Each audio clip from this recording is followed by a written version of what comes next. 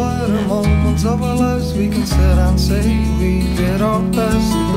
When the day is done and the evenings come, we can pray, have a rest.